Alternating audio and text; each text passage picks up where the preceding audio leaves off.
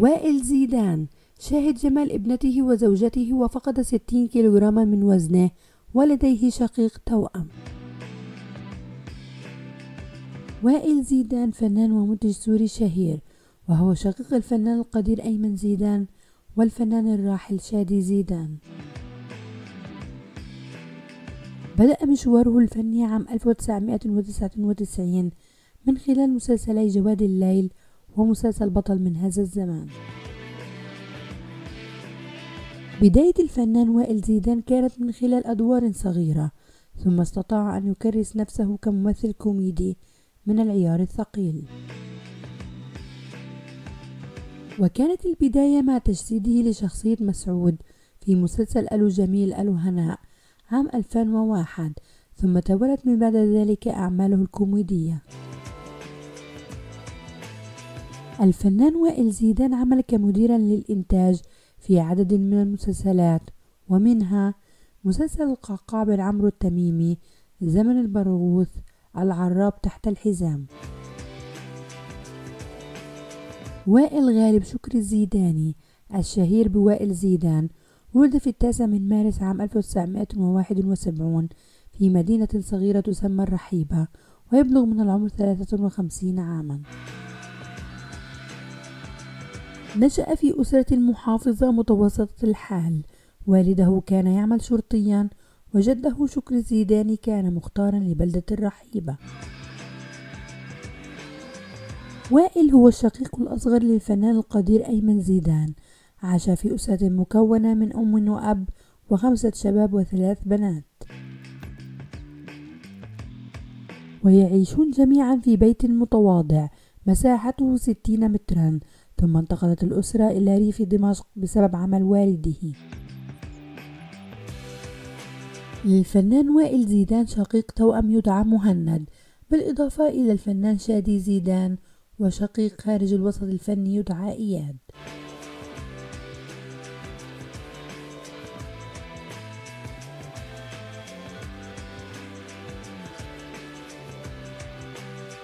يعتقد كثر أن الفنان أيمن زيدان وراء الدفع بشقيقه في الوسط الفني وهذا غير صحيح. فقد صرح الفنان وائل زيدان أن احتراف التمثيل كان رغبة شخصية منه. وأراد له شقيقه الفنان أيمن زيدان أن يصعد السلم الفني خطوة خطوة فساعده في البداية من خلال ترشيحه لأدوار صغيرة ثم تكفلت موهبته بالانطلاق فيما بعد.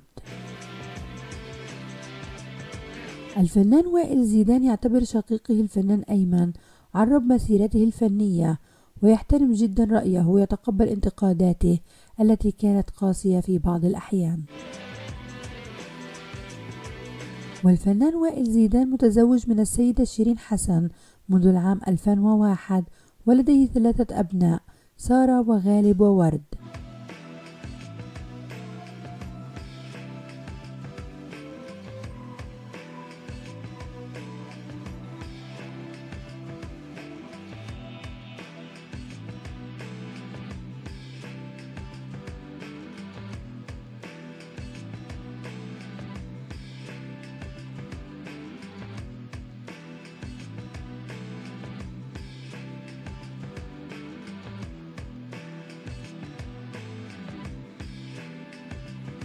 البداية الفنية للفنان وائل زيدان كانت عام 1999 عندما شارك بدور صغير في مسلسل جواد الليل ثم في مسلسل بطل من هذا الزمان. وفي العام التالي شارك في مسلسل ليل المسافرين ومسلسل قصص الغموض. وشارك الفنان وائل زيدان في عشرات المسلسلات السورية التي تنوعت ما بين الكوميديا والدراما الاجتماعية وأعمال البيئة الشامية. ومن هذه المسلسلات مسلسل طيور الشوك الوزير وسعادة حرمه قلب أبيض أسعد الوراق رجال العز أيام الدراسة الولادة من الخاصرة عناية مشددة. بالإضافة إلى مسلسل بروكار والجوكر وأحلى أيام عام 2020 ومسلسل زقاق الجن والعربجي ومربى العز في رمضان 2023 شارك الفنان وائل زيدان في عدد من الأفلام السينمائية ومنها فيلم صورة وفيلم سيريون وفيلم طريق النحل وفيلم رحلة يوسف.